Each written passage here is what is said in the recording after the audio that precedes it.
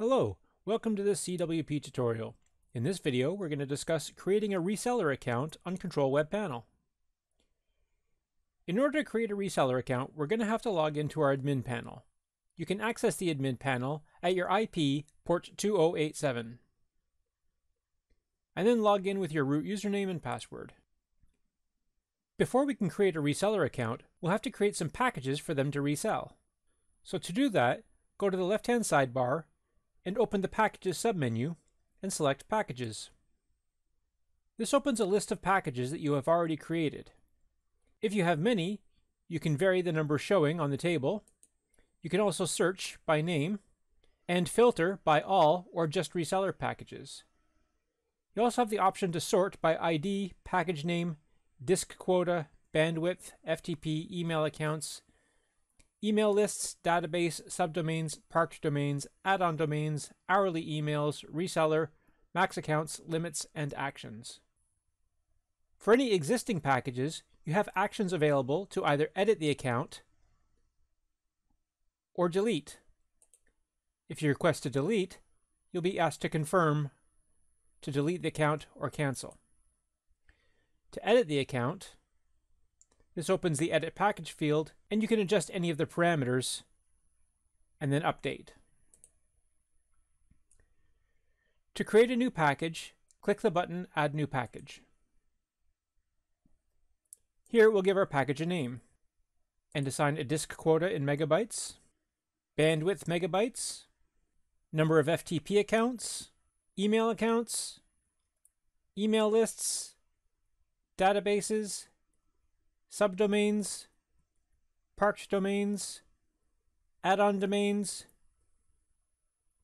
hourly emails, C groups or control groups. We can leave this blank if we don't want to put a limit.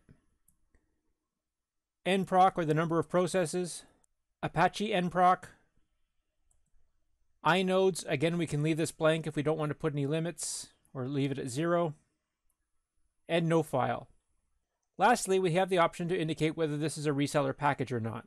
So since this is for a reseller, we'll check the box. Now that we've indicated this is a reseller account, we have to note the maximum number of accounts allowed. And then click Create. And here's our new reseller package listed in our list of packages. You can repeat this process as many times as you need to create the packages you want to offer. Here we'll create a basic version of our standard package and create. And we can see that that's been added to our list. And we'll add one more. And we'll create a premium version of our standard package and click create. And we can see that that's been added to our list. Here, if we choose to, we can delete any packages that are not necessary anymore. We'll confirm this. And that test package has been removed. And if we need to make any changes, we can click Edit.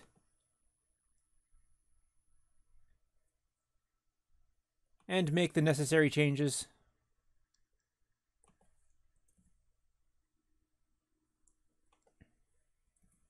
And before we update, it's important that if we make any changes to the disk quota, that we checkmark the update quota box to update the quota for all users using this package. It also disables the inode limits.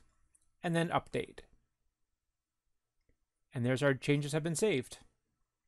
Now that we have some reseller packages created, we can create a reseller account. To create a reseller user account, go to the left-hand sidebar and open the User Accounts submenu. And then select New Account. First, select a domain name. This must be unique among your users, and enter it without the www or any symbols like slashes. Then, enter a username. This should all be lowercase alphanumeric, but with no symbols. A strong password is automatically generated. The admin email is imported automatically from your admin settings, but you can customize this if you wish. If you have multiple server IPs set up, you can select one from your drop-down list, and this IP will be shared by the reseller plus all sub-accounts. Then you can choose a package. Here's the basic, premium, and standard reseller packages we just created in the previous step. We'll select premium. Because we selected a reseller package, the reseller box is automatically checkmarked to indicate reseller privileges. If we had selected a non-reseller package, we would have to checkmark the reseller box manually to include reseller privileges. We'll keep this unchecked, add a reseller package, and it checks itself.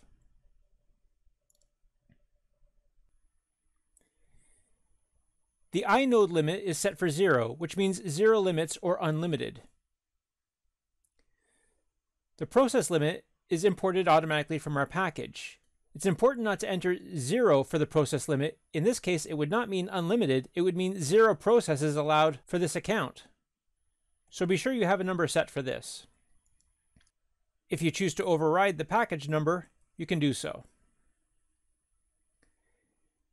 The limit for the number of open files for this account is also imported from the package. We can also override this if we want. For additional options, we can back up the user account, we can also permit shell access, however this is disabled by default for security reasons, and we can also attempt to create auto SSL. When we're done, click Create. We get the success dialog and the details for the newly created account. When you're ready, click Close. Now to view this new account, we can go back to the sidebar and under User Accounts, select List Accounts. And here in our list of accounts, we can see the new user that we just created. And over in the reseller column, we can see that they are indicated as a reseller. From this table, we can choose to change their package and select from the drop down which package we want to assign them. And then either confirm or cancel. We also have options to suspend the account. And if we do so, we can suspend only this account, only the clients of this account, or the reseller and all clients. And then either execute or close. We can choose to edit the DNS zone.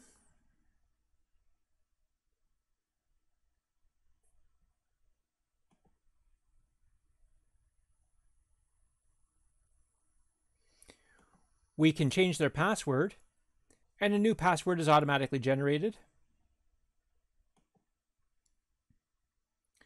We can edit the account, and these are the settings that we saw during the account creation process. Note that we cannot change the username or the main domain, but we can change the IP address, admin email, account type, package, inode limit, process limit, open files limit, and additional options. When you're done making your changes, either update or cancel. Or we can delete this account entirely. Either confirm or cancel. We also have the option of clicking on this icon to open the website. And the rest of the configuration of this account will take place in the user panel. We can access the reseller user panel quickly from the admin panel by clicking on this icon here, which opens the user panel.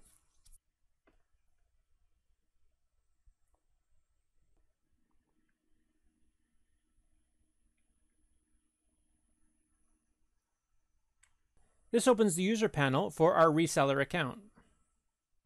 Here in the left-hand sidebar, we have the reseller submenu. We'll discuss the user panel reseller menu in the next video. For more details on how to use the admin panel reseller module, please visit the following link. Thanks very much for watching.